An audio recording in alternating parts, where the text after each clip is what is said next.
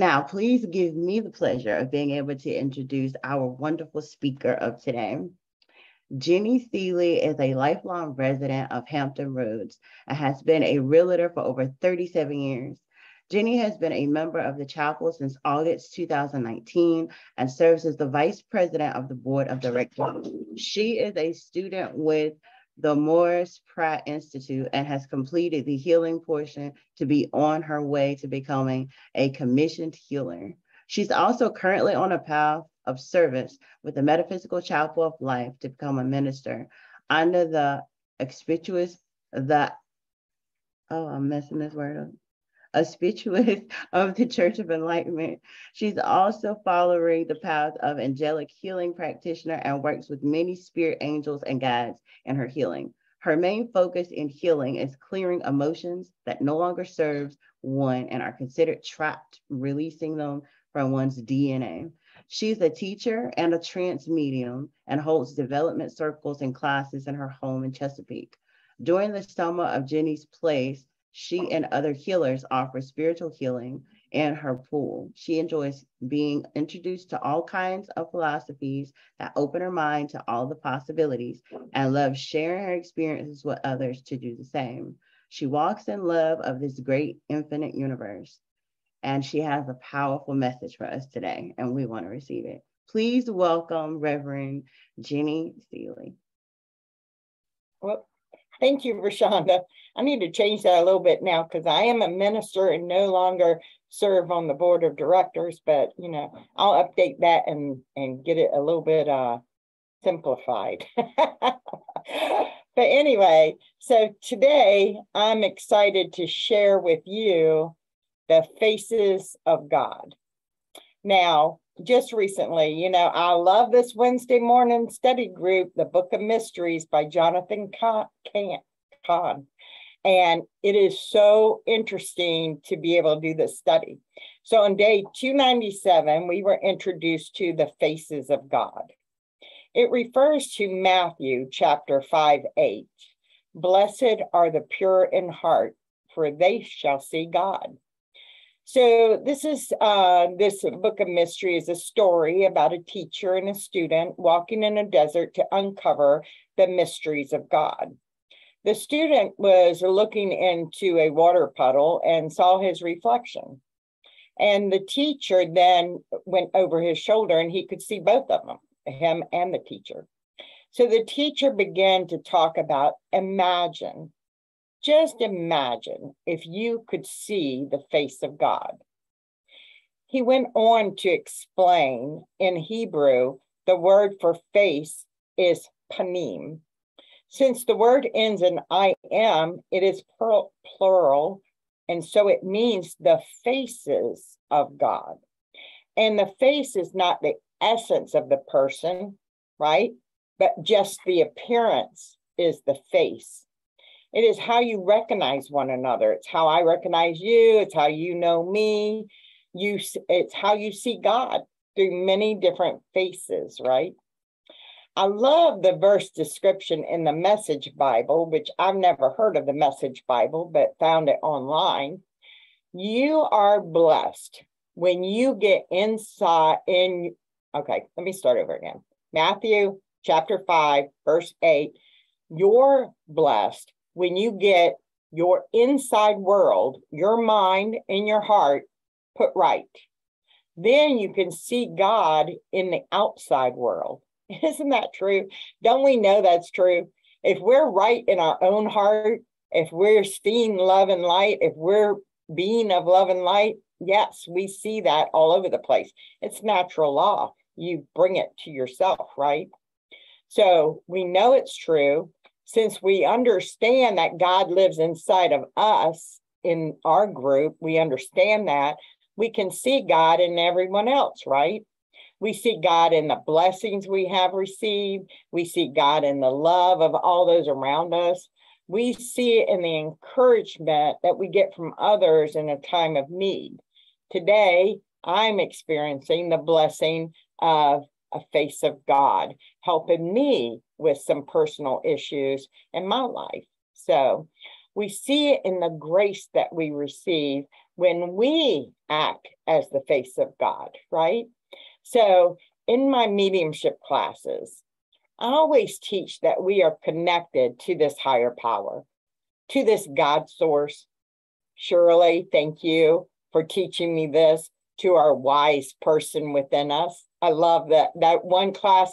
Shirley, I can't tell you how many times I've used that over and over and over again in my classes to connect to that wise person within us, which we refer to as our higher self, our God source. I, it's there and it wants the best for us and it wants us to stand in our truth.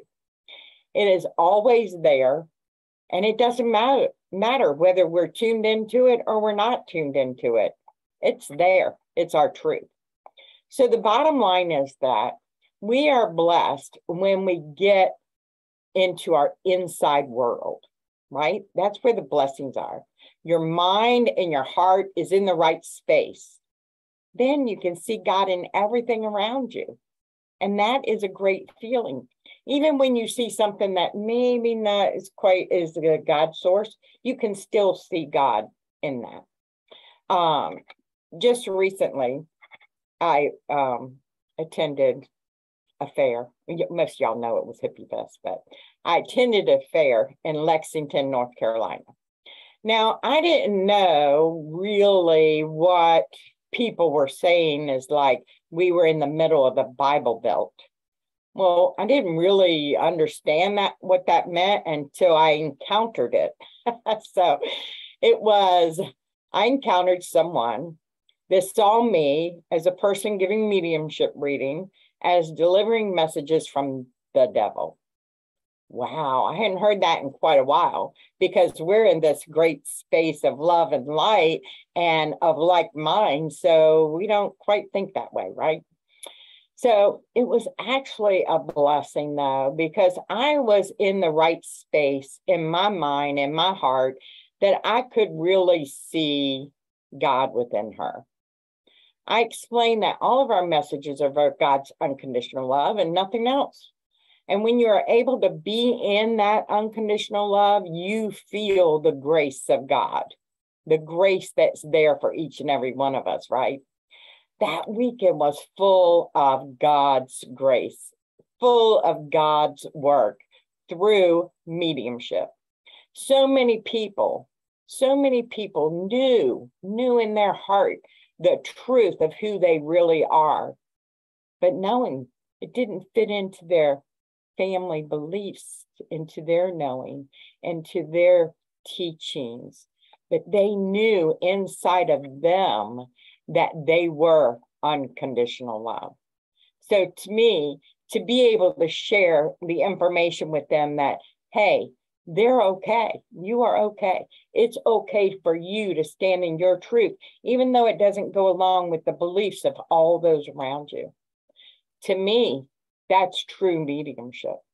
The gift of giving information from the other side of life that it's full of love, full of light, compassion, and understanding. That is mediumship.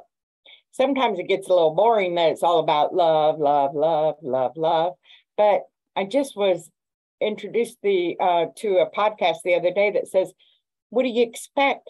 They're in a place of unconditional love. Wouldn't you expect that all the messages be of love? Because that's where they're at." So I understand that a little bit more, and I embrace the love, the light, compassion, understanding, the grace that's in all the messages from mediumship. Just yesterday, we were talking about that a little bit earlier. I had the honor to teach a laying on hands healing training class for our chapel, the Metaphysical Chapel of Life. Then we offered a healing service with all the students. There were eight student healers offering healing. They stood there in pure of heart, offering to be a channel of God's healing love. Man, you couldn't even ask for anything better than that. You want to talk about seeing faces of God? It makes me emotional just thinking about it. So, in this lesson, it goes on to say when you allow your life to be used as a vessel of His love and your heart to be used by His Spirit, then when people look at you, they too will see the face of God. Then, when you look at your reflection, you are seeing the many faces of God, right? All of our different faces, faces of God. So the stu and the study, I get, you know, I have a little bit of ADHD, whatever. So the study before the faces of God was about the time of harvest. And that was really interesting, especially since we're in the autumn harvest time. For every time there is a season, there are times of harvest. And if you don't reap the time of harvest at the right time, the season will pass and the time and chance you had to reap will be past. With each person that comes into your life, there's a specific time and a season, sometimes a reason, right? They will not be there forever. They come into your life, they leave, they come back, they leave for good, they leave this planet Earth. And one day you'll leave this planet Earth. And then you will pass from this world, no longer able to reap any other harvest of this natural life. So, what it was telling us is don't delay. Don't delay in showing your love. Mm. Don't delay in forgiving or asking to be forgiven, right? Don't delay in blessing those around you. Show them your face of God every day. So, the mission today, I'll sum it up with the mission. The mission today is to make it your aim to see the face in God and all their appearances and to be one of them to others. Can we do that? I think all of us live in that light and love of the world today, where we strive our hardest to be that face of God to everyone we encounter, even with a smile, whatever you need to do to be that face of God. And always, always, always remember Matthew 5 8 from the Message Bible. You're blessed when you get your inside world, your mind, your heart, your mind, body, and soul put right. Then you can see God in everything that surrounds you, in the blessings, in the struggles, in all things that surround you. So that is my message for you today. See those faces of God all around you and revel in them. So I'll leave you with that message from God, right? so thank you guys. I appreciate you allowing me to serve. That was an amazing message, and you have no idea how much it hit me personally. Oh, thank you. I know it hit me just before I came online, and I'm like, wait a minute, I can't be lecturing crying. but, oh. you know, there was just a Facebook post. I have to say this because we have time, you know. I I have to tell, there was a Facebook post the other day talking about a woman on an airplane and she had a crying baby. And you know how we all feel about crying babies on airplanes, right? we do place some judgment on those poor moms that are just trying to keep them quiet, right? And they're stressed. We've all been there when our babies are crying, right? And so um, a woman sat in front of her and the woman asked, Can I hold the baby?